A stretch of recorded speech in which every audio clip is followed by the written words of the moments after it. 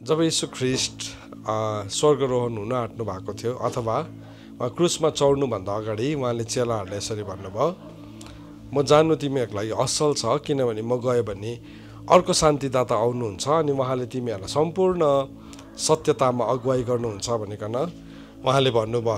अनि उहाँले पवित्र आत्माको कामको विषयमा बताउन थाल्नुभयो। अनि उहाँले भन्नुभयो जब पवित्र आत्मा आउनुहुन्छ उहाँले तिमीहरूको जीवनमा तिनवटा कुरा तिमीहरूलाई देखाउनुहुन्छ। अनि उहाँले भन्नुभयो यहुन्नाको किताब सोह्रको आठ पदमा जब पवित्र आत्मा आउनुहुन्छ तब पवित्र आत्माले संसारलाई पाप धार्मिकता र इन्साफको विषयमा दोष देखाउनुहुन्छ या कायल बनाउनुहुन्छ भनिकन उहाँले भन्नुभयो। त थुप्रोपल्ट जब पनि वचन बोल्दै गर्दाखेरि कतिजनालाई त्यो वचनले चाहिँ दोष लगाएको जस्तो लाग्छ। या त के चाहिँ भन्नु खोजेको खासमा? What are you trying to tell me तिमीले चाहिँ म पापी छु भनेर मलाई देखाउनुको लागि यहाँ ल्याएको हो या तिमी मलाई दोष लगाउनुको लागि यहाँ ल्याएको हो? या के हो भन्ने जस्तो कतिजनालाई लाग्छ। तर मैले यो कुरालाई विचार गरिरहेको थिएँ कि परमेश्वरको प्रेम परमेश्वरको प्रेम चाहिँ यति साह्रो ठुलो छ हाम्रो लागि कि परमेश्वरले आफ्नो पुत्रको कदमा पूर्णतामा आउने मौका हामीलाई दिनुभएको छ। अनि त्यो त्यो भनेको चाहिँ के हो भन्दाखेरि चाहिँ त्यो भनेको चाहिँ जब हामी उहाँको कदको एकतामा आउँछौँ विश्वास र ज्ञानको कदको एकतामा आउँछौँ त्यो एकतामा आउँदै गर्दाखेरि आज हामी जुन स्पिरिचुअल आत्मिकी अवस्थामा छौँ त्यो आत्मिकी अवस्थामा त्यत्तिकै हामी त्यो एकतालाई हासिल गर्न सक्दैनौँ। किन सक्दैनौँ भन्दाखेरि चाहिँ किनभने मलाई त सधैँ नै लाग्छ म राम्रै छु भनेकन तर हामी कस्तो छौँ भन्ने कुरा परमेश्वरले जान्नुहुन्छ अथवा भन्नु नै हो भने हामी एउटा परिवेशभित्र हाम्रो सबै कुराहरू राम्रै लाग्छ हामीलाई। तर जब हामी त्यही परिवेशलाई अर्को ठाउँमा गएर हेर्छौँ भने हामीलाई हाम्रो कस्तो सिस्टममा कतिवटा घटी कमी रहेछ भन्ने कुरालाई थाहा पाउँछौँ अहिले हामी इन्डियामा छौँ भने अहिले हामी बाहिर देश विदेश अमेरिकामा गयो या कुनै अर्को अस्ट्रेलियामा गयो या कुनै पनि देशमा गयो भने जब त्यहाँको प्रणालीलाई हेर्छौँ जब त्यहाँको सडकहरूलाई हेर्छौँ जब त्यहाँको गाडीहरूलाई हेर्छौँ हामी छक्कै पर्छ है। उनीहरूले हामीलाई भन्नै पर्दैन तिमीहरू गरिब देश हो भनेर हामी आफै थाहा पाउँछौँ। हामी गरिब देश रहेछौँ भनिकन उनीहरूले कहिले पनि भन्दैन। कहिले पनि भन्दैन तिमीहरू गरिब देशको भनिकन त्यहाँ पुग्ने बित्तिकै हामी थाहा पाउँछौँ ओहो हाम्रो खाना त कति माया लाग्दो रहेछ। हाम्रो सडक कस्तो माया लाग्दो रहेछ। हाम्रो गाडी कस्तो माया लाग्दो रहेछ है? एउटा ठाउँमा पुग्ने बित्तिकै हामी त्यो अनुभव गर्छौँ। उनीहरूले हामीलाई दोष लाउनु पर्दैन तर हामी हाम्रो जीवनको दोषहरू देख्न थाल्छौँ। हाम्रो ठाउँको घटी कमीहरू देख्न थाल्छौँ। अनि हामी बुझ्छौँ कि भिन्नता चाहिँ के रहेछ त? त्यहाँदेखि चाहिँ हामी के भन्छौँ? यो चाहिँ यस्तो यो चाहिँ फरेनको यो विदेशको त्यो भन्ने बित्तिकै हामीलाई कसैले स्ट्यान्डर्डमा च्यालेन्ज नै गर्नु पर्दैन है? च्यालेन्ज नै गर्नु पर्दैन किनभने त्यो त भयङ्कर दामी हो हाम्रो माइन्डभित्र त्यो पसेको छ किनभने हामीले त्यो ठाउँलाई देख्छौँ। तर जब पुत्रको ज्ञानमा बढ्ने कुराहरू आउँछ त्यति बेला चाहिँ हरपल्ट परमेश्वरको वचन चाहिँ हामीलाई दोष लगाएको जस्तै नै लाग्छ।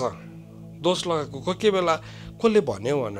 मेरो मेरो बारेमा कसले भन्यो? पक्का पनि पास्टरले भन्यो होला। पास्टरले अर्गनाइज गरेको छ र अर्को स्पिकर आयो भने चाहिँ त्यो स्पिकरले तपाईँको जीवनमा हुँदै गरेको घटना भनिदियो भने चाहिँ उसलाई कस्तो लाग्छ? पक्का पनि यिनीहरू दुईजनाको कानै खुसी भएको छ र आज मलाई नै ताकेर भन्यो। वास्तवमा त्यस्तो भएको हुँदैन। त्यस्तो भएको हुँदैन। तर हाम्रो परमेश्वर जिउँदो हुनुहुन्छ अनि पवित्र आत्माले काम गर्दै हुनुहुन्छ। अनि पवित्र आत्माको काम नै के हो भन्दाखेरि चाहिँ हामीलाई यीशु ख्रिस्टको कदको एकतामा आउनमा हामीलाई सहायता गर्नु। अनि पवित्र आत्माको आज पवित्र आत्मालाई हामी भन्छौँ नि पवित्र आत्मा मेरो जीवनमा तपाईँले काम गर्नुहोस् भनिकन यदि हामी भन्छौँ भने चाहिँ पवित्र आत्माले के गर्न थाल्नुहुन्छ तपाईँ र मेरो जीवनमा भने चाहिँ उहाँले हामीलाई कुन कुराले गर्दाखेरि हामी यीशु ख्रिस्टको विश्वास र ज्ञानको एकतामा हामी आइपुग्दैनौँ त्यसलाई देखाउन थाल्नुहुन्छ। उहाँले देखाउन थाल्नुहुन्छ। अनि त्यो देखाउँदै गर्दाखेरि चाहिँ यदि हामीले मान्यौँ त्यो कुरालाई भने चाहिँ हामी के हुन्छ भने यीशु ख्रिस्टको हाइट चाहिँ छ फुट छ र हामी एक फुटको मात्रै छ भने चाहिँ हाम्रो एक फुट एक इन्ची हुन्छ। विश्वासको कुरा गरेको है मैले। अघि म बाह्र इन्चीको मान्छे मात्रै थिएँ तर म अब तेह्र इन्चीको मान्छे हुन्छु। सो त्यो कदम कदम कदम कदम गर्दाखेरि पवित्र आत्माले त्यो मान्छेलाई बढ्न दिनुहुन्छ त्यसरी हर समय। सो हाम्रो कहिले पनि सकिएकै छैन। जुन दिन तपाईँ र म यीशु ख्रिस्टको ज्ञान र विश्वासको एकतालाई हासिल गरिसक्छौँ नि त्यो दिन तपाईँ र मैले पवलले जस्तै भन्न सक्छौँ। मैले मैले उत्तम लडन त लडेको छु मैले विश्वासलाई थामिरहेको छु अनि मैले दौडलाई सिद्धाएको छु। होइन भने चाहिँ हामीलाई एउटै कुरा घरिघरि घरिघरि हाम्रो जीवनमा दोहोरिरहेको हुन्छ। यो मैले आज किन भन्दैछु भने किनभने आज म तपाईँलाई केही कुरा भन्न गइरहेको छु। सो त्यो भन्दै गर्दाखेरि अरे यो मान्छेले त हामीलाई फर्स्टदेखिको कुरा भन्दैछ त भने जस्तो लाग्ला। तर तपाईँले ध्यान दिएर सुन्नु भने नि वचन हामीसँग केही कुरा बोल्छ नै बोल्छ। सो त्यस कारणले गर्दाखेरि आजको वचनमा हामी हाम्रो विश्वासलाई जोड्छौँ। सो याकुबको किताब दुई अध्याय तपाईँहरूले मसँग खोल्नुहोस्। अनि त्यसको त्यसको छब्बिस पद। याकुब दुईको छब्बिस पद याकुब दुईको छब्बिस पदमा यसरी लेखेको छ किनकि जसरी शरीर आत्मा बिना मरेको हुन्छ। हेर्नुहोस् है वचनले के भन्दैछ? शरीर चाहिँ आत्मा बिना चाहिँ के हुन्छ अरे? मरेको हुन्छ। हामी जिउँदैछौँ जिउँदैछौँ तर भए पनि बाइबलले भन्दैछ शरीर चाहिँ आत्मा बिना चाहिँ मरेकै हुन्छ। त्यसले गर्दाखेरि हामी कतिजना मान्छे जसले सुसमाचारलाई सुनेको छैन अनि उनीहरूले ग्रहण गरेको छैन हामी उनीहरूलाई के भन्छौँ? प्रभुमा उनीहरू बाँचेकै छैन भन्छ। नि तर त्यसको अर्थ आज अलिकति म तपाईँहरूको अगाडि प्रस्ट्याउन चाहन्छु। त्यो अर्थलाई अझ अलिकति हामी हेरौँ। हामी थुप्रोपल्ट हामी यो धाक दिँदै हिँड्छौँ मान्छेहरूलाई कि म नयाँ गरी जन्मेको छु। म नयाँ गरी जन्मेको छु। अनि हामी सजिलोसँगले मान्छेलाई भन्छौँ यदि कोही ख्रिस्टमा छ भने त्यो नयाँ सृष्टि हो त्यो वचन पक्का हो। त्यसमा त एउटा पनि केही शङ्का छैन। किनभने साँच्चै नै यदि कोही ख्रिस्टमा छ भने त्यो के हो? नयाँ सृष्टि नै हो। नयाँ सृष्टि हो। तर यो कुरालाई अलिकति म तपाईँहरूसँग एक्सप्लेन गर्न चाहन्छु। सो यो एक्सप्लेन गर्नको लागि चाहिँ तपाईँलाई म यहुन्नाको किताब तिन अध्यायमा लान चाहन्छु। अनि यहुनाको किताब तिन अध्याय बाइबलको अति नै इम्पोर्टेन्ट च्याप्टर हो। अति नै महत्त्वपूर्ण हुनु त हरेक च्याप्टर नै इम्पोर्टेन्ट च्याप्टर हो तर यहुनाको किताब तिन अध्यायमा चाहिँ दुईजना धर्मगुरुहरू बात मार्दैछ। है भन्नु मतलब धर्मगुरुहरू बात मारेको लेभल अर्कै हुन्छ नि है। अर्कै हुन्छ। धर्मगुरु र एउटा सानो नानी बोल्यो भने त्यो धर्मगुरुको भाषा पनि नानीको जस्तै हुन्छ। अमुइनी भन्ने थाल्छ है त्यसरी नै बोल्छ। तर जब एउटै लेभलको एउटै अन्डरस्ट्यान्डिङको लेभलको मान्छेहरू कुरा गर्छ त्यति बेला उनीहरूको भाषा पनि अर्कै हुन्छ शैली पनि अर्कै हुन्छ। सो यहाँ यसरी हुँदैछ। फरिसीहरूमध्ये निकोदमस नाउँ भएको एकजना मानिस थिए। तिनी यहुदीहरूका महासभाका एक सदस्य थिए। सो यो महासभा भनेको चाहिँ केलाई भन्थ्यो भन्दाखेरि चाहिँ महासभा भनेको चाहिँ जब मोसाले इजरायलीहरूलाई मिश्र देशदेखि त्यो उजाड स्थानको बाटो भएर प्रतिज्ञाको देशमा लाँदै गर्दाखेरि चाहिँ मोसा एक्लैले ह्यान्डल गर्न सकेन। अनि परमेश्वरले जब मोसाले प्रभुलाई भन्यो प्रभु यिनीहरूलाई मैले जन्माएको हो र है म यिनीहरूलाई लानु सक्दिनँ यहाँदेखि हुँदैन। यिनीहरू यस्तो रिबेलियस मान्छे छ। प्रभुले के भन्नुभयो? ठिकै छ। यसो गर। है तिमीहरूको मध्ये नाम चलेको सत्तरीजना मान्छेलाई तैँले छानेर लिएर आइज। अनि तँभित्र भएको स्पिरिट चाहिँ म त्यो मान्छेहरूमा हालिदिन्छु। अनि जब त्यो सभा बस्यो त्यो सभालाई चाहिँ उनीहरूले महासभा भन्थ्यो। अनि साँच्चै नै त्यो महासभा बसेको दिन चाहिँ उनीहरू पवित्र आत्माले भरे अनि उनीहरू चाहिँ उनीहरूले प्रभुको खुट्टालाई देख्यो अनि उनीहरू प्रभुको अगाडि खाना खायो भनेको छ। सो त्यो यस्तो म्याग्निफिसेन्ट यस्तो स्प्लेन्डरस इभेन्ट थियो अब त्यो त्यो इतिहासमा कहिले नघटेको। किनभने सत्तरीजना मान्छे चाहिँ प्रभुको चरणमा बसेर खाना खानु भनेको है कस्तो डरलाग्दो कुरा हो नि त है। हामी कहिले पनि त्यस्तो एक्सपिरियन्स गरेको छैनौँ हामी कसैले पनि गरेको छैनौँ तर यो महासभाले गरेको थियो। तर के भयो भन्दाखेरि अब मान्छेको चाहिँ के हो एउटा केही भयो भने त्यसलाई प्रथा बनाइहाल्छ। सो उनीहरूकोमा पनि एउटा प्रथा चलेको थियो। अनि उनीहरूको प्रथामा चाहिँ के भयो भन्दाखेरि चाहिँ अब त्यो सत्तरीजना त्यो एल्डर्सहरू मऱ्यो तर उनीहरू मऱ्यो भने पनि उनीहरूले चाहिँ त्यो महासभाको जुन चाहिँ आसन थियो त्यो आसन अदृश्य आसन थियो त्यसलाई चाहिँ उनीहरूले कायम राख्यो। किन? सम्पूर्ण इजरायलीहरूले चाहिँ महासभा भन्ने बित्तिकै के गर्थ्यो उनीहरू? डराउँथ्यो। किन? त्यो महासभामा बस्ने मान्छेहरूले त परमेश्वर देखेको हो। परमेश्वरसँग बसेर खाना खाएको यिनीहरू। सो त्यसले गर्दाखेरि युग बित्दै गयो बित्दै गयो बित्दै गयो बित्दै गयो। मोसाम मऱ्यो त्यो सत्तरीजना एल्डर पनि मऱ्यो तर के कुरा चाहिँ बाँच्यो भने चाहिँ त्यो कुर्सी चाहिँ बाँच्यो। है पोलिटिक्स भन्छ नि त्यसलाई। है त्यो पोलिटिक्स चाहिँ त्यो कुर्सीको पोलिटिक्स बाँच्दै बाँच्दै बाँच्दै बाँच्दै ख्रिस्टको दिनसम्म पनि आइपुगेको थियो। अनि त्यो महासभाको सदस्य हुनु भनेको चाहिँ भयङ्कर थियो। आज पनि स्टिल अहिले मैले यो बोल्दै गर्दाखेरि पनि इजरायलको इलेक्सन चाहिँ त्यो सेभेन्टीवटा सिटले तय गर्छ। जित्यो भने पनि थुप्रो मान्छेहरू जितेर पनि हार्छ किनभने महासभाको त्यो चेयरबाट चाहिँ उनीहरू हारेको हुन्छ। अझै पनि छ त्यो एउटा पोलिटिकल सिट छ। इजरायलको क्यानेसेथ या उनीहरूको पार्लियामेन्टमा तपाईँ जानु भने त्यो एउटा ठाउँ छ। त्यो चाहिँ अहिले कम्प्लिटली पोलिटिकल भएको छ हुनु त त्यति बेला पनि पोलिटिकल थियो त्यो। तर के भयो भन्दाखेरि चाहिँ अब महासभाको सदस्य भनेपछि चाहिँ अब एकदम Z category super VIP so यो मान्छे जो निकोदमस थियो ऊ चाहिँ महासभाको के थियो? एउटा सदस्य थियो। सो यो यो यो ब्याकग्राउन्डलाई अलिकति तपाईँले बुझ्नु जरुरी छ। सो मैले भन्दैछु दुईजना धर्मगुरुहरू बात मार्दैछ। तिनी राति यीशु कहाँ आएर भने गुरुज्यू हामी जान्दछौँ।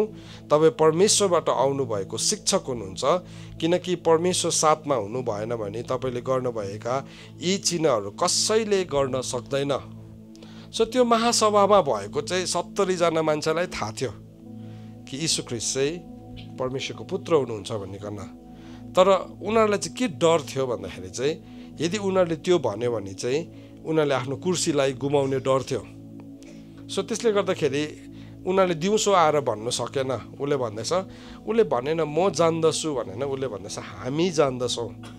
सो वी नो भनेको छ इङ्ग्लिसमा we know that you are from God तर तपाईँ परमेश्वरबाट आउनुभएको यो कुरा हामी जान्दछौँ। किनभने परमेश्वर साथमा हुनुहुन्न भने चाहिँ कसैले यो गर्नु सक्दैन।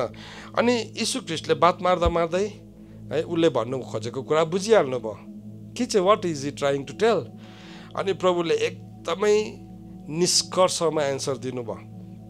अनि एन्सर चाहिँ के दिनुभयो भन्दाखेरि चाहिँ यसोले तिमीलाई जवाब दिनुभयो साँच्चै म तिमीलाई भन्दछु कोही नयाँ गरी जन्मेन भने त्यसले परमेश्वरको राज्यलाई देख्न सक्दैन। है? के भन्नुभयो प्रभुले? नयाँ गरी जन्मेन भने परमेश्वरको राज्य देख्न सक्दैन। सो यसको अर्थ के भन्छ त? यसको अर्थ यो भन्छ कि नयाँ गरी जन्मेको मान्छेले चाहिँ परमेश्वरको राज्यलाई देख्दो रहेछ।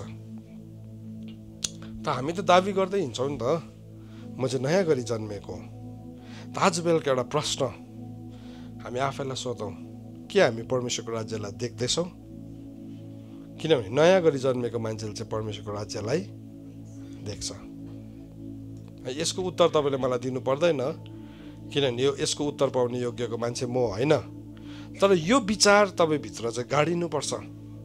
यदि म प्रभुलाई पछ्याउँदैछु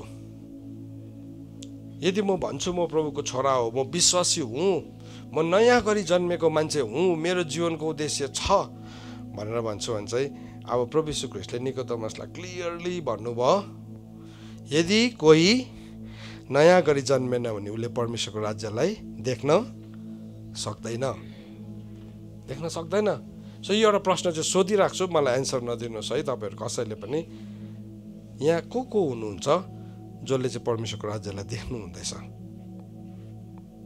यहाँ को को छ? मलाई तपाईँले एन्सर दिनु पर्दैन तर यो प्रश्न चाहिँ तपाईँले आज सोच्दै घर फर्किनुहोस्। अझै मैले कहिले पो देखेँ प्रभुको राज्य। है हामी कतिजनाले त भन्छ नि ओ म त बिस वर्ष तिस वर्ष।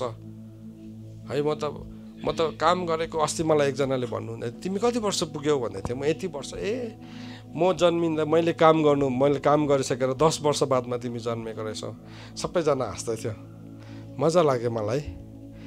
किनभने मेरोमा एन्सर नै थिएन। है त्यसको के भन्नु र अब? के कतिवटा कुरा मान्छेले त्यसरी तौलिन्छ। तर मलाई सोध्नु चाहिँ मन परेको थियो तपाईँले परमेश्वरको राज्यलाई देख्नु भएको भनेर। र झगडा हुन्थ्यो त्यो सोधेको चाहिँ। किनभने खास कुरा चाहिँ त्यहाँदेखि मात्रै सुरु हुँदो रहेछ।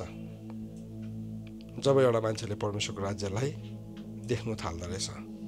इट डजन्ट म्याटर तपाईँ कति वर्ष तपाईँ क्रिस्चियन हुनुभएको कति वर्ष भयो या कति दिन भयो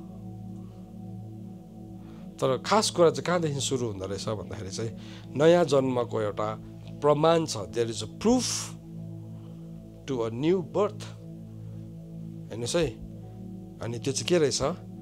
जबसम्म कोही एउटा मान्छे नयाँ गरी जन्मिँदैन भने त्यसले परमेश्वरको राज्यलाई देख्न सक्दैन। सो यदि म भन्छु म नयाँ गरी जन्मेको हो भने चाहिँ मैले परमेश्वरको राज्यलाई देख्छु। त्यो चाहिँ माथि आँखा चिम गर्दाखेरि बादलमा यसो यसो टुप्पो टुप्पोमा सुनको यसो कता कता चुच्चो निस्केको महलहरूको कुरा गरेको होइन। तर त्यो राज्य म भित्र छ। त्यो राज्य तपाईँभित्र छ। प्रभुले भन्नुभयो लुका किताब सत्र अध्यायको एक्काइस पदमा भन्नुभयो कि परमेश्वरको राज्य चाहिँ तिमीहरूको बिचमा छ।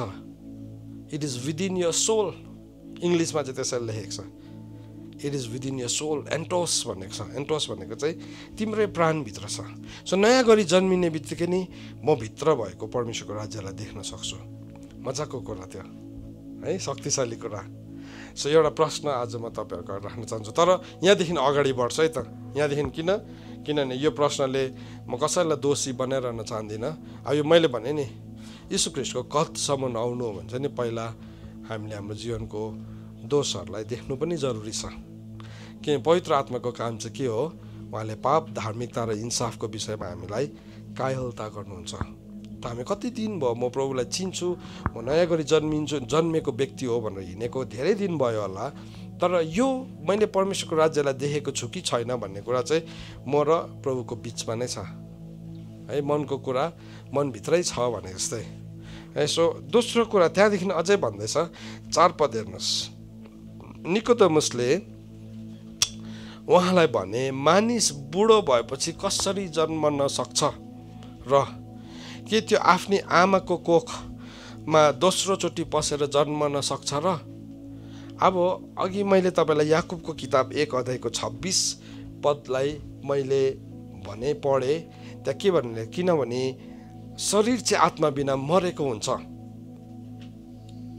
शरीर चाहिँ आत्मा बिना मरेको हुन्छ। सो प्रभु ख्रिस्टले नि जब उसँग यो कुरा भन्नुभयो ऊभित्र एउटा हलचल भयो। ऊभित्र हलचल भयो किनभने उसले के भन्दैछ ओ म त यत्रो महासभाको मेम्बर पो त सानोतिनो मान्छे होइन। तपाईँलाई थाहा छ इन्डियाको सुप्रिम कोर्टको चिफ जस्टिसेसहरू चाहिँ है उनीहरू चिफ जस्टिस चाहिँ कहिले पनि यङ एजमा हुँदैन। त्यो चाहिँ आइएएसको तपाईँले पढेर मतलब त्यो एकदम कम्पिटेटिभ इक्जाम पास गरेर हुँदैन। त्यसरी पसेर त्यहाँ चिफ जस्टिस हुनु पाउँदैन। त्यो चिफ जस्टिस हुनुको लागि चाहिँ उसले उसले कतिवटा उसको टाइमको रेकर्ड हुनुपर्छ उसले थुप्रो केसेसहरू लडेको हुनुपर्छ थुप्रो कोर्ट्सहरूको अलरेडी जजेस भइसकेको हुनुपर्छ अनि चिफ जस्टिस हुने बेलामा चाहिँ रिटायर हुने एजमा पुगेको हुन्छ। So most of the chief justice चाहिँ पाँच वर्ष छ वर्षभित्रमा रिटायर भइहाल्छ। किन? किनभने त्यो ठाउँमा पुग्दा पुग्दा उसको फेरि यता समय नै सकिसकेको हुन्छ। यो मान्छे पनि त्यसरी पुगेको थियो त्यो चौकीमा त्यो कुर्सीमा। तर अब यहाँ प्रभुलाई है तिमी नयाँ गरिकन जन्मेनौ भन्ने परमेश्वरको राज्यलाई देख्न सक्दैनौ भन्दाखेरि त उसलाई त छक्कै पर्यो। ओहो म अब आमाको गर्वमा फेरि पस्नु? फेरि पस्नु? अब कसरी चाहिँ मान्छे बुढो भएपछि चाहिँ पस्नु सक्छ र?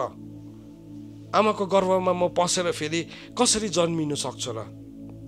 अब परमेश्वरको कुराहरू पनि नि जबसम्म हामीले आत्माको कुराहरूलाई बुझ्दैनौँ नि हाम्रो लेभल चाहिँ नि त्यस्तो हाई लेभलमा पुग्यो भने पनि हाम्रो इन्टरप्रिटेसन्सहरू चाहिँ त्यस्तो हुन्छ। हाम्रो कुनै कुरालाई अनुवाद गर्ने तरिका शारीरिक नै हुन्छ। शारीरिक हुन्छ। अब यो भन्ने धर्मगुरु हो नि आज हामीलाई हाँस उठ्छ यो कुरा सुन्दाखेरि किनभने यसको एक्सप्लेनेसन हामीले पाएको छौँ नि यदि नपाएको हो भने चाहिँ हामीलाई पनि यो प्रश्न सोध्यो भने चाहिँ सायद हामी यतिको पनि एन्सर दिनु सक्थ्यौँ कि सक्दैनथ्यौँ। थाहा छैन। तर यो मान्छेलाई उसले के भन्दैछ? अब म चाहिँ फेरि आमाको गर्वमा फेरि पस्न सक्छु र अब पाँच पद हेर्नुहोस्। पाँच पद हेर्नुहोस्। प्रभु श्रीकृष्णले झन् ठुलो कुरा भन्नुभयो उसलाई। उसले झन् ठुलो कुरा भन्नुभयो। यसुले जवाब दिनुभयो साँच्चै म तिमीलाई भन्दछु कोही पानी र आत्माद्वारा जन्मेन भने त्यसले परमेश्वरको राज्यमा पस्न सक्दैन। अब हेर्नुहोस् है। अब अब यहाँ झन् ठुलो कुरा भन्नुभयो प्रभुले। अघि चाहिँ के भन्नुभएको थियो? नयाँ गरी जन्मेन भने देख्नु सक्दैन भन्यो। अब फेरि अझै कन्फ्युज भयो त। है परमेश्वरको राज्यलाई त देख्नुको लागि मात्रै पनि एउटा मान्छे नि नयाँ गरी जन्मिनुपर्छ। झन् पस्नुको लागि त के अरे? पानी र आत्माद्वारा जन्मिनुपर्छ भन्दैछ। आहो झन् साह्रो पर्यो। अब पस्नुको अघि त पस्नुको एन्ट्रीको मात्रै कुरा थियो। है देख्नुको मात्रै। हेर्ने फिस नै महँगो न महँगो थियो। यहाँ त झन् पस्ने फिस त झन् छुइ नसक्नु रहेछ। परमेश्वरको सत्यताहरू हो यो। Church this is the truth of God हामीले परमेश्वरलाई कस्तो भने ओ is good all the time जे हुँदा पनि हुन्छ। अल्टिमेटली अल्टिमेटली सबैजना हामी उहाँ नाम्चीको सेन्ट्रल पार्कमा भेटौँ ल। त्यस्तो खालके होइन। That is not the kingdom of God परमेश्वरको राज्य त्यस्तो छैन मेरो प्रियहरू। परमेश्वरको राज्य शक्तिशाली छ। परमेश्वरको राज्य ठुलो छ। परमेश्वरको राज्य बृहत छ। अनि त्यो राज्यको राजा चाहिँ स्वयं यीशु ख्रिस्ट हुनुहुन्छ। अनि त्यो ठाउँको नागरिक हुनु त्यो ठाउँभित्र हामी पस्नु त्यो ठाउँभित्र हामी जानु भन्ने कुरा है कस्तो त्यसको कन्डिसन छ। अनि त्यहाँ जाने बाटो चाहिँ को हुनुहुन्छ?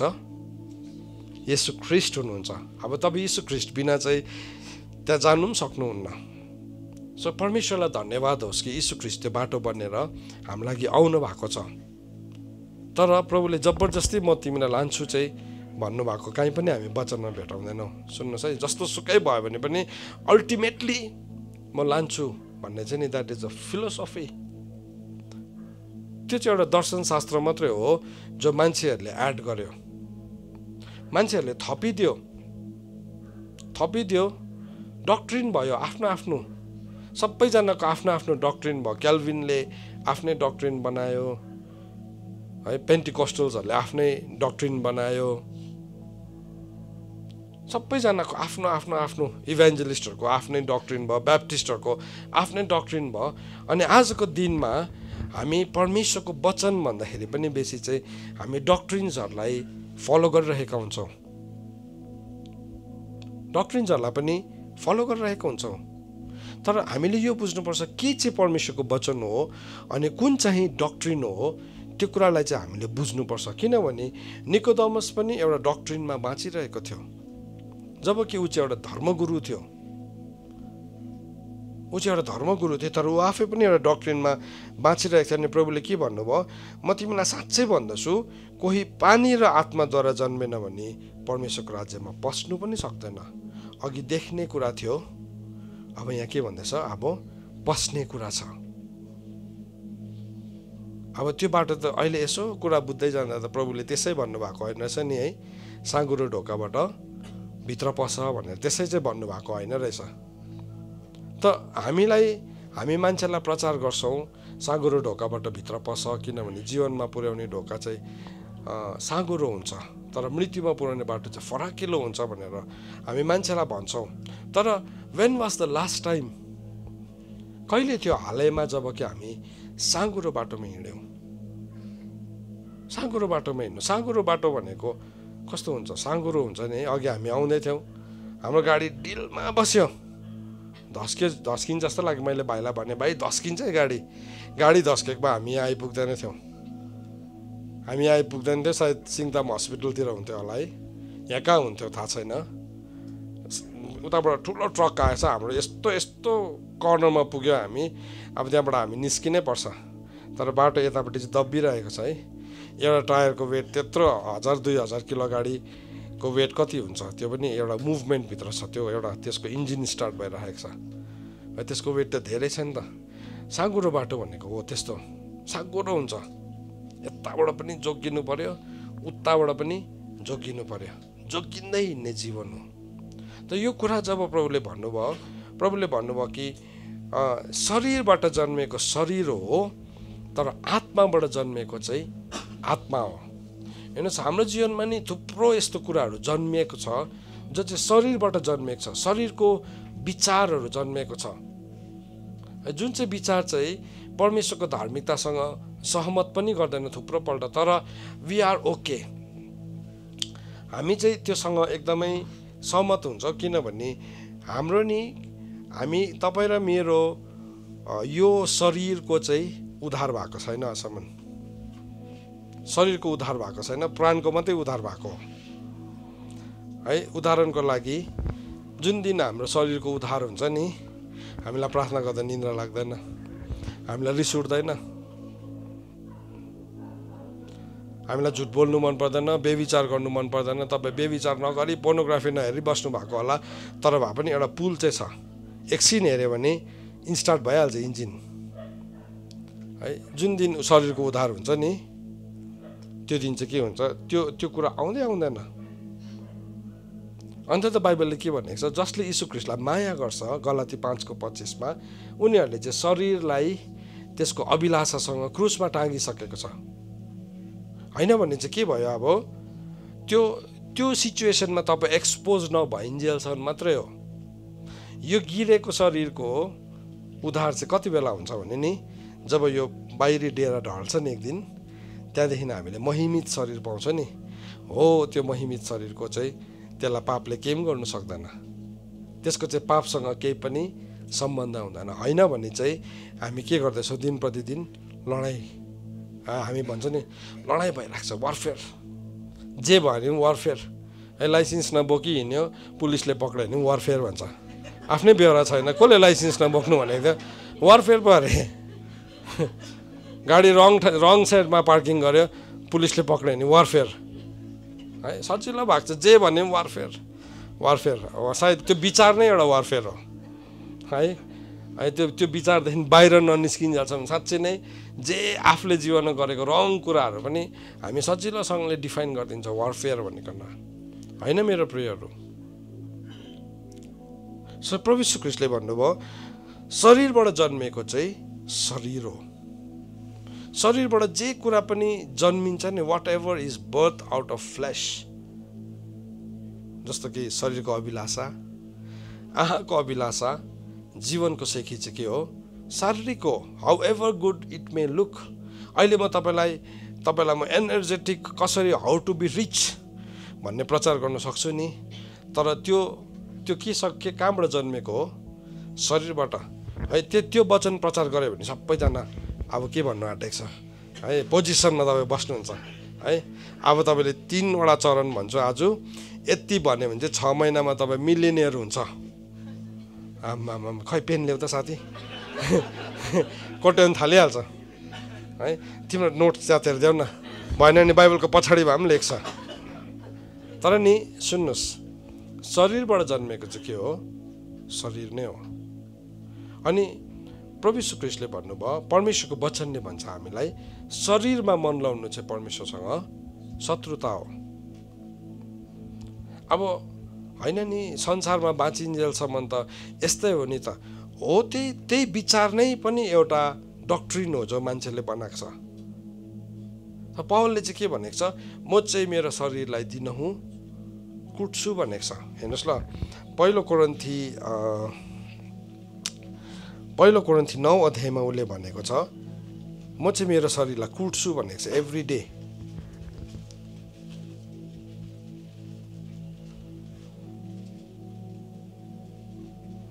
उसले भनेको छ कि म शरीरलाई कुट्छु कि मैले प्रचार गरिसकेपछि चाहिँ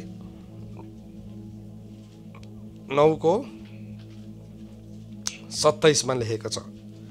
हजुर यसरी लेखेको छ but I discipline my body and keep it under control, lest after preaching to others, I myself should be disqualified.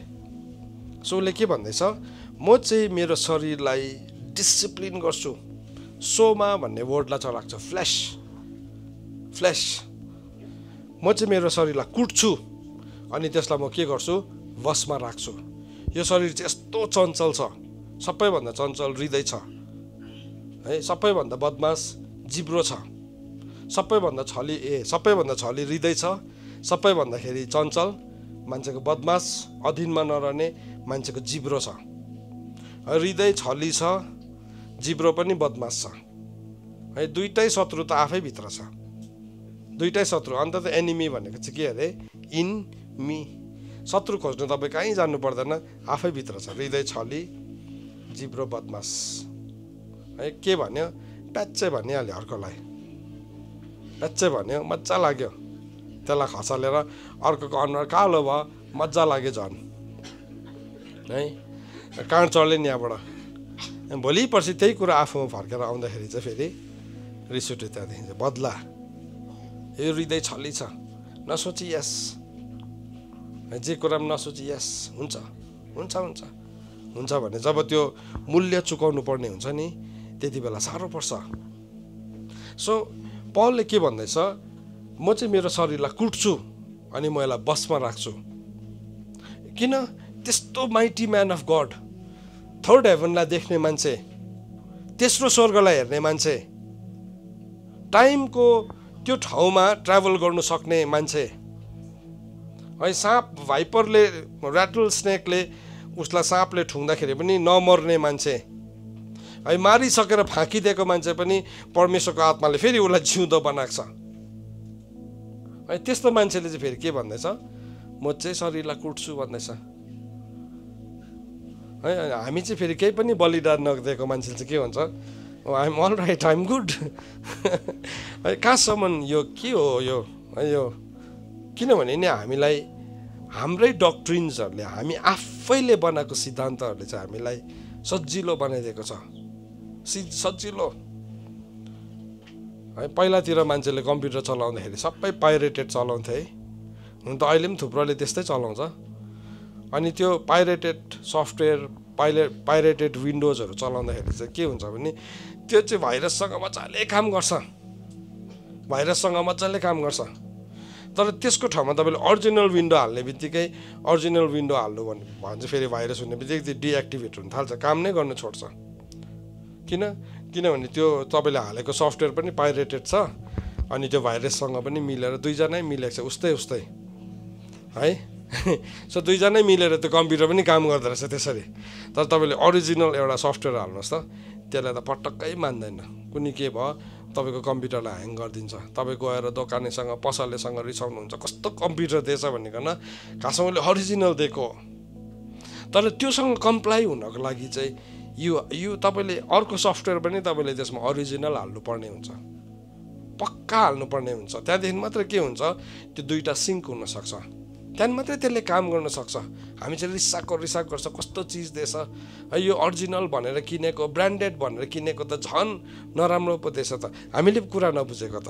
किन? किनभने त्यसले त्यसरी काम गर्दैन। जब तपाईँले त्यसमा अरिजिनल अपरेटिङ सिस्टम हाल्नुहुन्छ है त्यसभित्र तपाईँले फेरि सफ्टवेयर पनि तपाईँले अरिजिनल नै हाल्नुपर्ने हुन्छ। किन त्यसले रेजिस्ट्रेसन छ त्यसको त्यसको थुप्रो कुराहरू छ।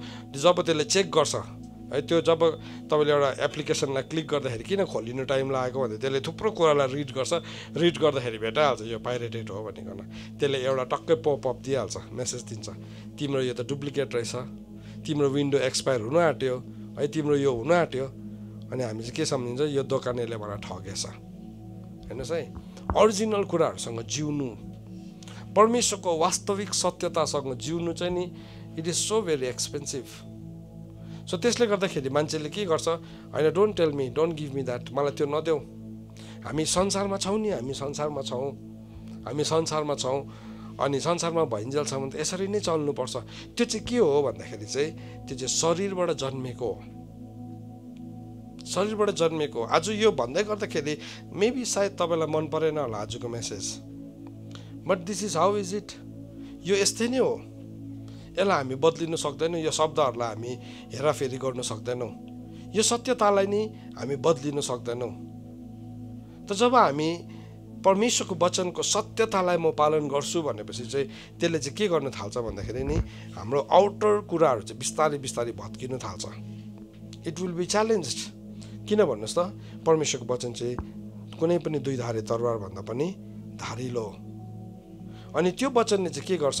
मेरो प्राण र मेरो शरीर फ्ल्याससँग जोड दुइटाको एउटा जोइन्ट छ। त्यो जोइन्टभित्र बसेको त्यो डिमोनिकलाई काट्नु थाल्छ।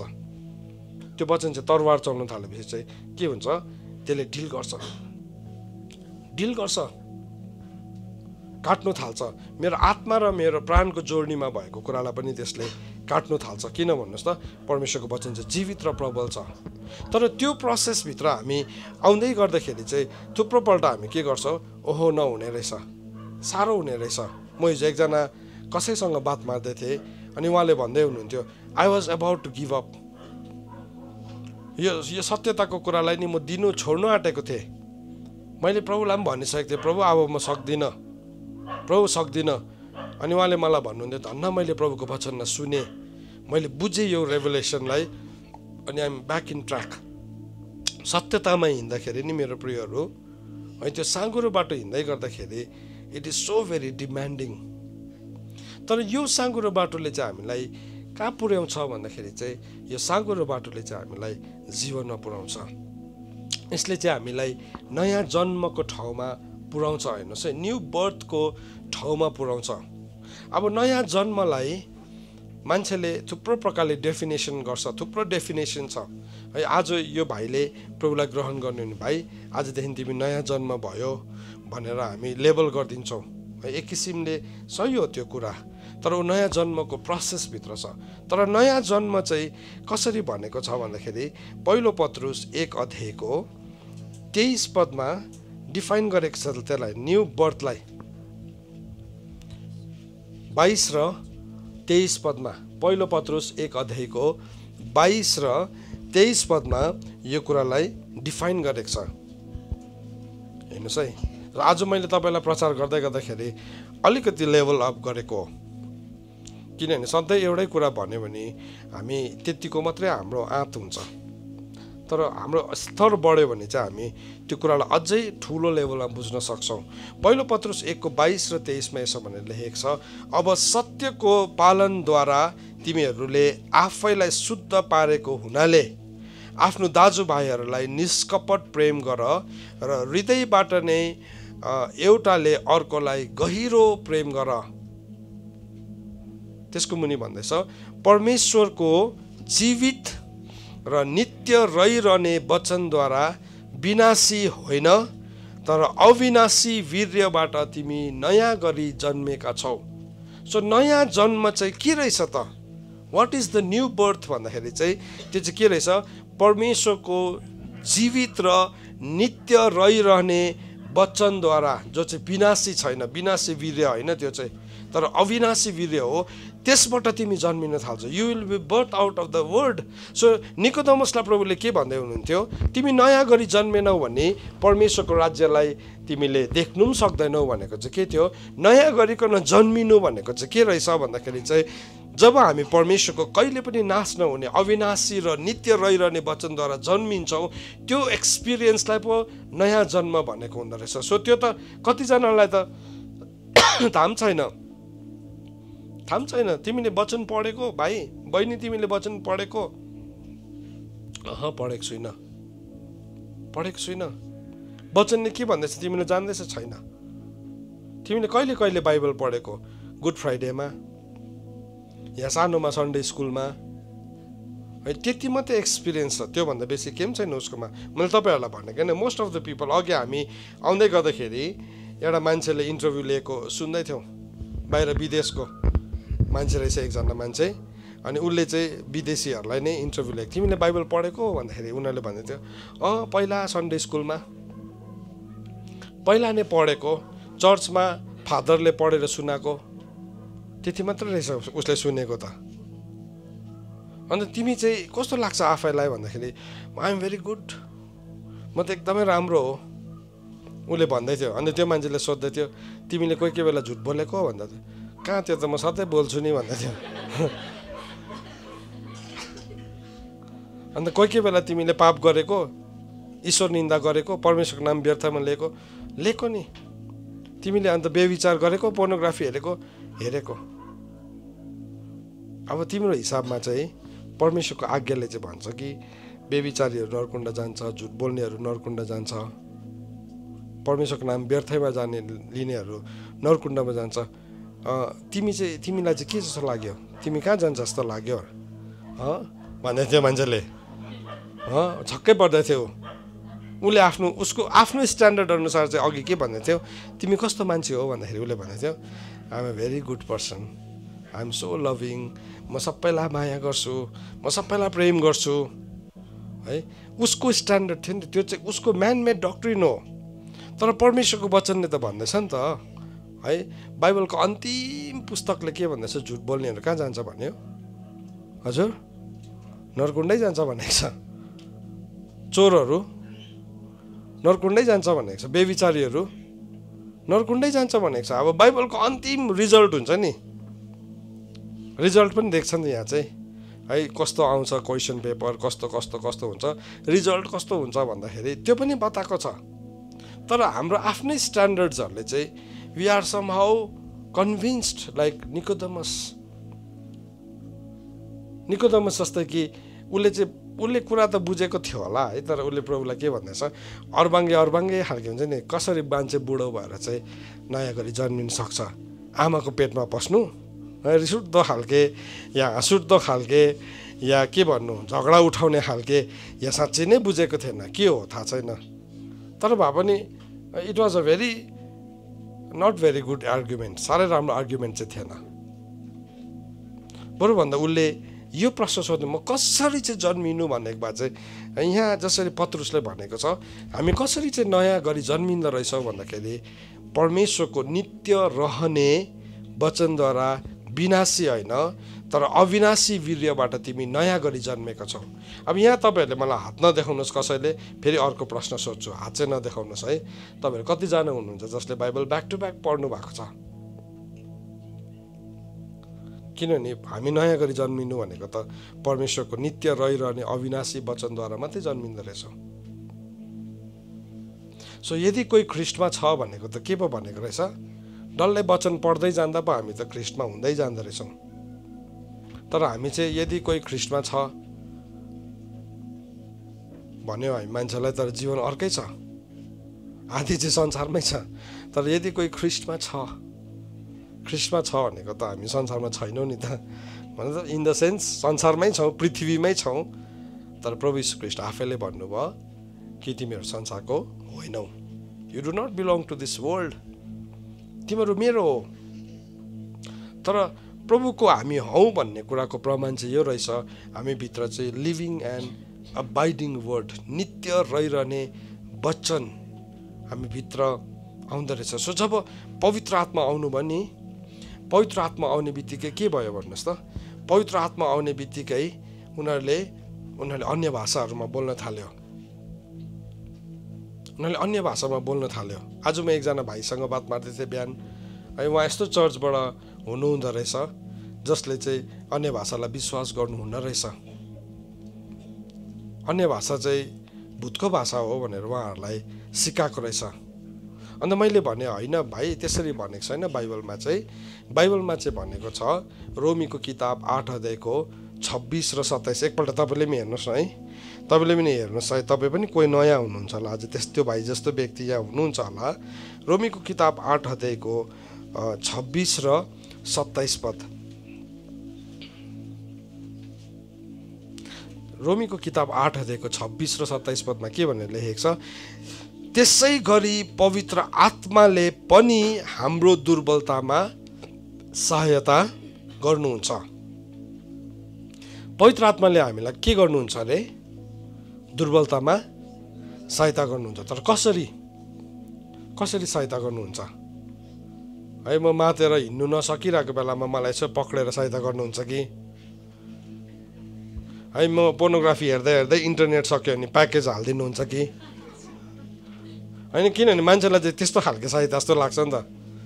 होइन मलाई रक्सी खानु मन परिरहेको बेला पैसा नपुगेको बेला अचानक गोजीमा पैसा हालिदिनुहुन्छ कि? त्यो सहायता भनेको हो कि? के भनेको नेक्स्ट लाइनमा हेर्नुहोस् कसरी सहायता गर्नुहुन्छ?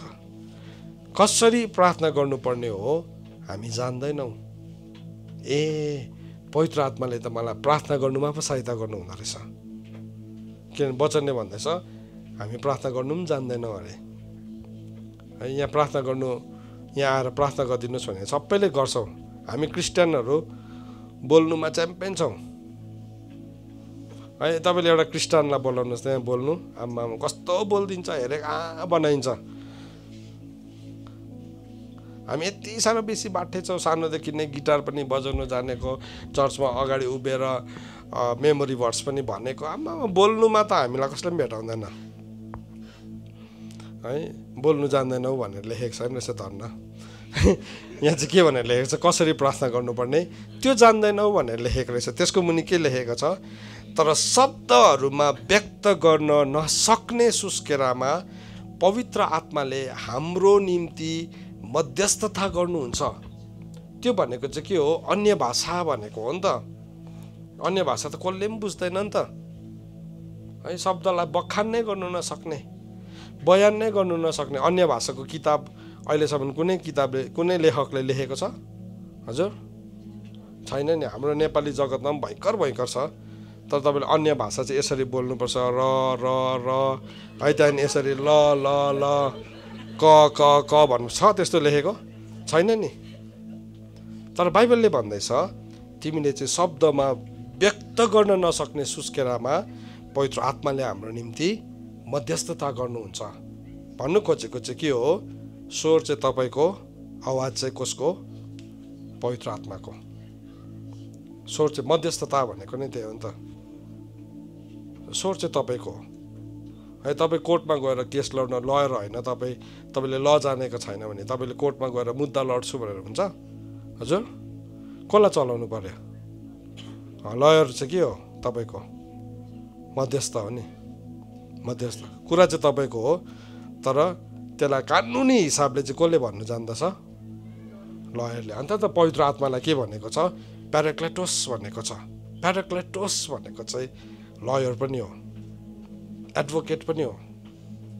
सो उहाँले चाहिँ के गर्नुहुन्छ हाम्रो लागि? मध्यस्थता गर्नुहुन्छ। बयान गर्न नसक्ने शब्दमा उहाँले हाम्रो निम्ति प्रार्थना गर्नुहुन्छ। अब कतिजनाले चाहिँ यसलाई रिजेक्ट गरेको कारणले गर्दाखेरि जीवनमा दुःख पाइरहेको छ। You don't know the power of speaking in tongues यति साह्रो शक्तिशाली छ। मान्छेको लागि तपाईँले त र र ल र क मात्रै भनेको सुन्ला ठट्टा पनि गर्ला तर तपाईँलाई थाहै छैन। त्यो चाहिँ एउटा यस्तो भाषा जो चाहिँ स्वर्गले बुझ्छ त्यो भाषामा पवित्र आत्माले तपाईँको पक्षमा मध्यस्थता गर्दै हुनुहुन्छ। हेर्नुहोस् है मैले आज बिहान त्यो भाइलाई त्यो सम्झाउँदै थिएँ। कसरी प्रार्थना गर्नुपर्ने हामी जान्दैन वी डोन्ट नो तपाईँ जति वर्ष तपाईँ सेवकाई मैले म सेवकाई गरेको तेइस वर्ष भयो अब तर म जान्दिनँ बाइबलले भनेको नि त म जान्दिनँ भने चाहिँ जान्दिनँ हो पक्का हो। त्यसलाई होइन म जान्दैछु। तेइस वर्षमा त मैले केही जान्दैछु नि। तिन घन्टा त म यत्तिकै प्रार्थना गरिदिन्छु। हुँदैन। वचनले जान्दैन भनेपछि चाहिँ जान्दैनै हो। किनभने वचन चाहिँ माथि हो सर्वोपरि हो। तर त्यो प्रार्थना चाहिँ कसले गरिदिनुहुन्छ मेरो लागि? पवित्र आत्माले। कस्तो सजिलो। आम्मामा यति साह्रो सजिलो। तर हामीले रिजेक्ट गर्दाखेरि सक्यो कुरा। हामीले रेजिस्ट गर्यो अन्त त बाहिरलाई भनेको छ do not resist the Holy Spirit भनेको छ। पवित्र आत्मालाई तिमीले इन्कार नगर भनेको चाहिँ त्यो भनेको हो। त एनिवेज मैले भन्नु खोजेको चाहिँ पवित्र आत्मा जब हाम्रो जीवनमा आउनुहुन्छ फर्स्ट थिङ चाहिँ उहाँले के गर्नुहुन्छ? मध्यस्थता गर्नुहुन्छ। तर सेकेन्ड थिङ चाहिँ के गर्नुहुन्छ भने नि पवित्र आत्मा तपाईँको जीवनमा आउने बित्तिकै तपाईँको जीवनमा परमेश्वरको वचन चाहिँ अलाइभ हुन्छ। सो प्रेरितहरूको मोडललाई तपाईँले हेर्नुभयो भने जब प्रेरितहरू पवित्र आत्माले भरे बाइबलले के भनेको छ? उनीहरूले अन्य भाषामा बोले अरू भाषामा बोले।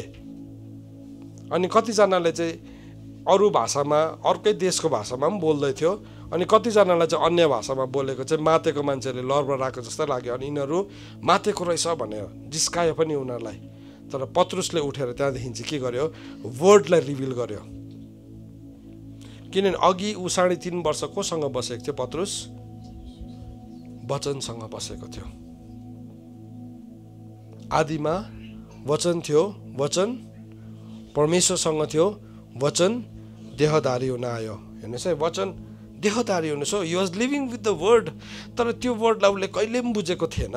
तर जब पवित्र आत्मा आउनुभयो उसले भन्दैछ तिमीलाई थाहा छैन। यो अगमभक्तले के भनेको छ? कि म मेरो आत्मा अन्तको दिनमा म मेरो आत्मा सबैजनामाथि खनाउँछु। सो त्यो फुलफिलमेन्ट भयो। सो के भयो? ऊभित्र लिभिङ एन्ड अभाइडिङ वर्डद्वारा पत्रुसको नयाँ जन्म भएको कुरालाई हामी देख्दैछौँ। अगाडि त कहिले त्यसरी भनेको थिएन। अगाडि त को ठुलो को सानो को भयङ्कर है त्यो मात्रै त्यो जरा काट्ने नै थियो। हेर्नुहोस् है मैले अस्ति पनि एक ठाउँ सेयर गर्दै थिएँ। तपाईँले सुन्नुभयो कि भएन त्यो मेसेजलाई दोस्रो तिमती तिन अध्यायमा लेखेको त्यो जति पनि एक्काइसवटा छ नि त्यो सबै थियो चेलाहरूकोमा। धनको लोभी स्वार्थी ढिट हट्टी आरिस गर्ने मुख फर्काउने सबै बेहोरा थियो। यीशुख्रिस्टसँग रहँदा रहँदै पनि। तर जब when they birth out of world जब उनीहरू नयाँ गरिकन जन्मियो है त्यो नयाँ जन्ममा चाहिँ उनीहरूको लाइफ चेन्ज हुन थाल्यो। त्यहाँदेखि के भयो?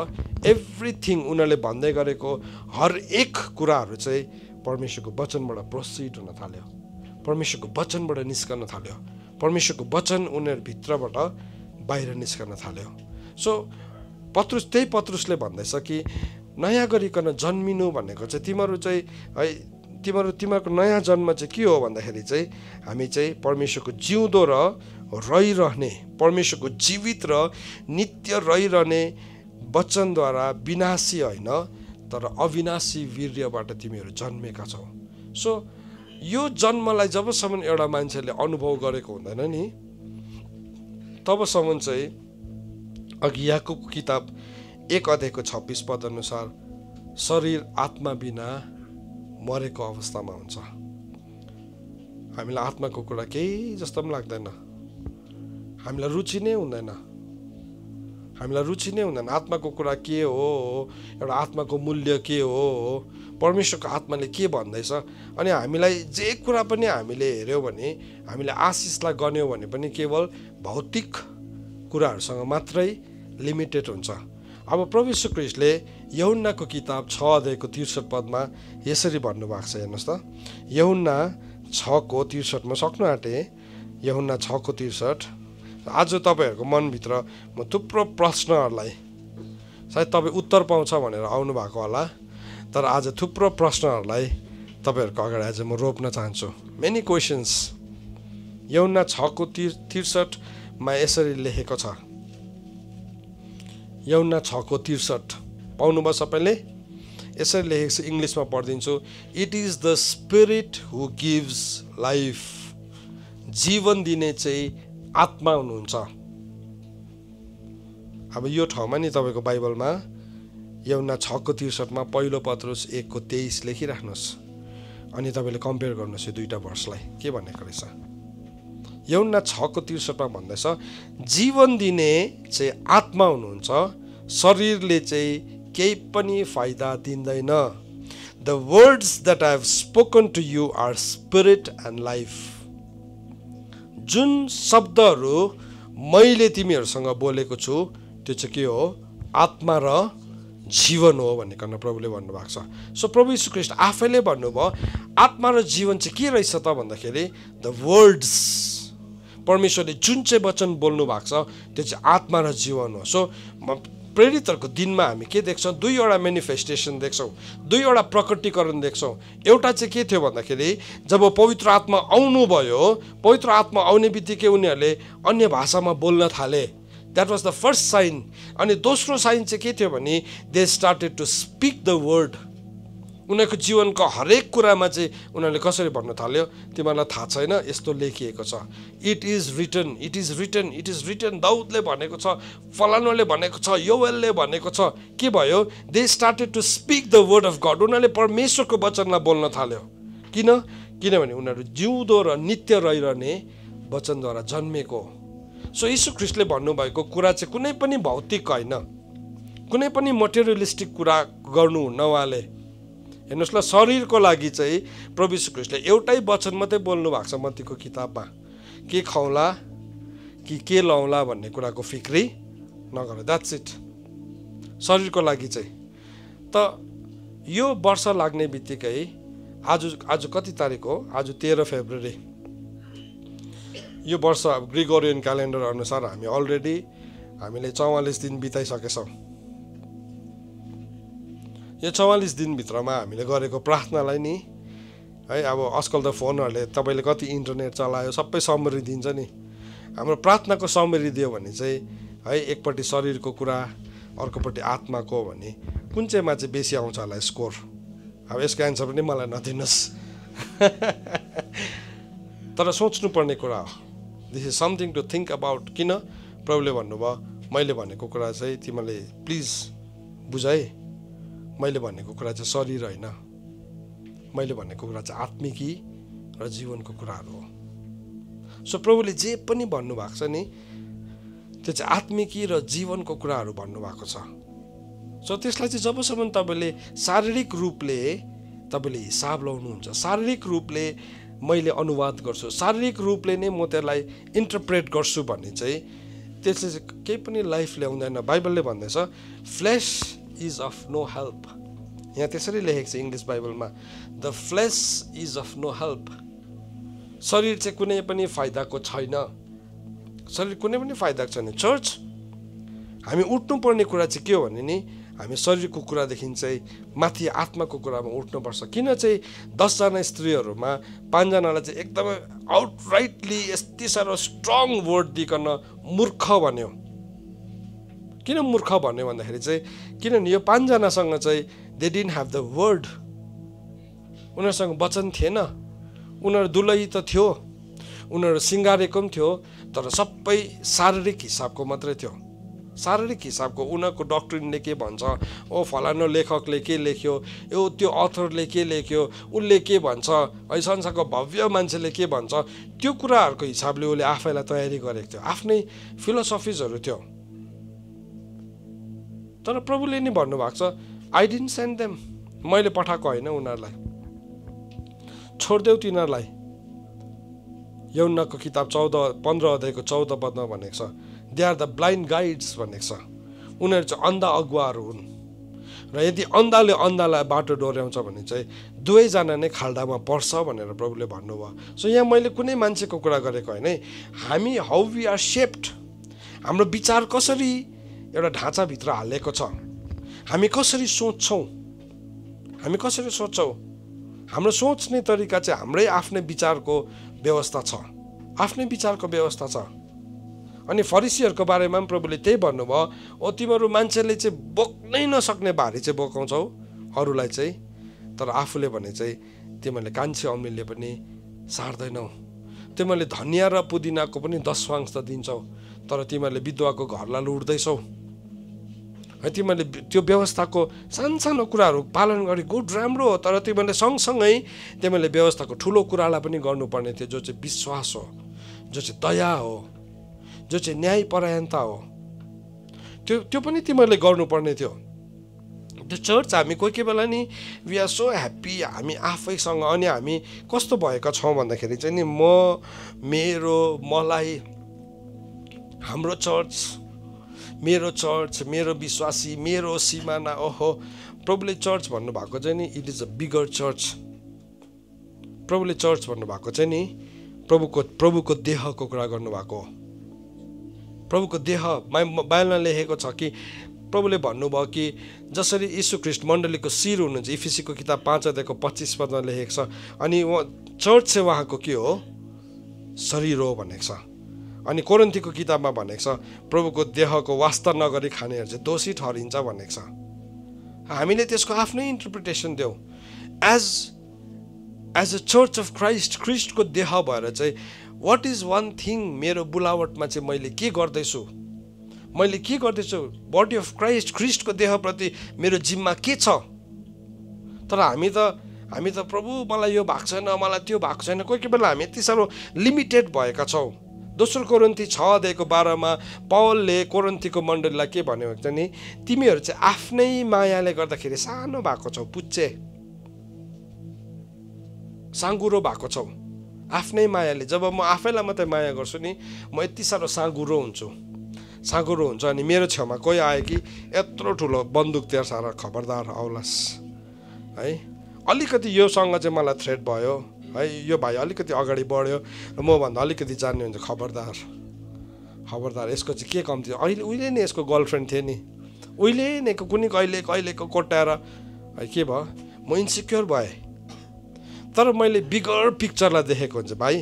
मेरो समय सक्यो प्लिज तपाईँ आउनुहोस्। मेरोमा भन्दा बेसी एनर्जी तपाईँ तपाईँकोमा। प्लिज यु कम माथि आउनुहोस्। तर वचनमा झगडा गर्नुहोस् ल। म करेक्सन ल्याउँछु त्यो ठाउँमा। तर आज के भइरहेको छ भन्दाखेरि there is a great threat ठुलो डर छ मान्छेलाई किन भन्नुहोस् त किनभने हामी साँगुरेको छौँ। सुन्नुहोस् आज तपाईँ बढ्दै हुनुहुन्छ हामी हुर्किँदैछौँ। हामी हुर्किँदैछौँ भने चाहिँ एउटा कुरालाई हामीले छोड्नुपर्छ हाम्रो लाइफबाट। त्यो चाहिँ के हो भने आफैलाई माया गर्ने बेहोरालाई चाहिँ हामीले छोड्नुपर्छ। किनभने दोस्रो करोन्ती दोस्रो तिमती छ तिन अध्यायमा चाहिँ एउटा पेरिलियस टाइम आउँछ अन्तको दिनमा चाहिँ भयानक समय आउँछ अनि मान्छेहरू चाहिँ they will become the lover of self भनेको छ। उनीहरू चाहिँ आफैलाई मात्रै माया गर्ने हुन्छ भनेको छ।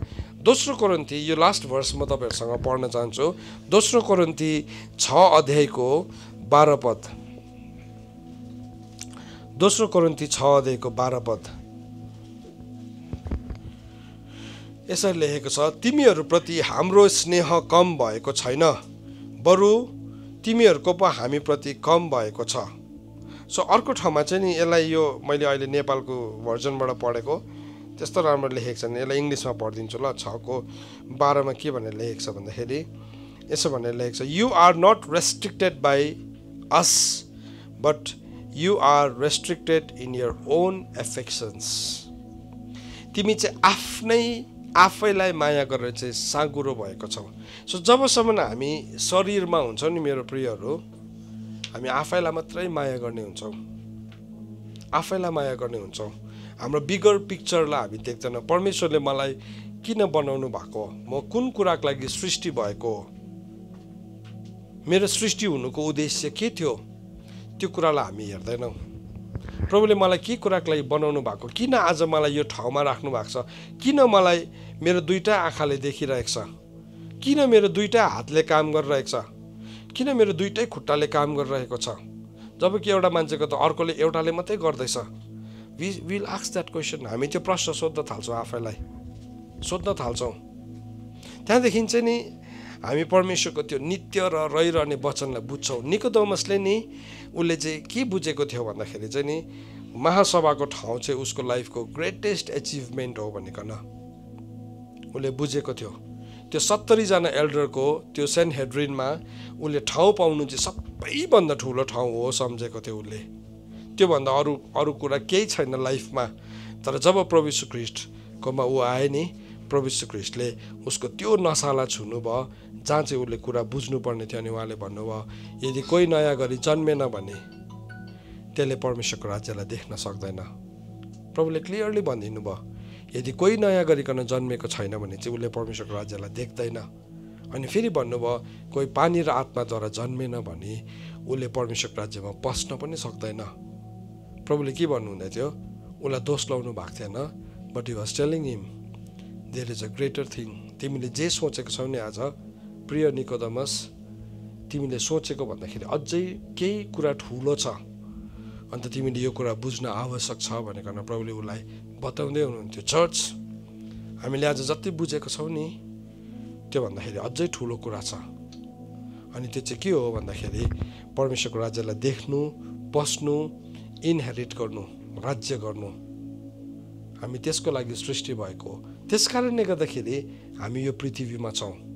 त्यसले गर्दाखेरि हामीले हामीले काम गरिरहेका छौँ। तर हाम्रो जीवनको समय जवानी हरेक कुराहरूलाई हामीले व्यर्थमा बिताउँछौँ भने नि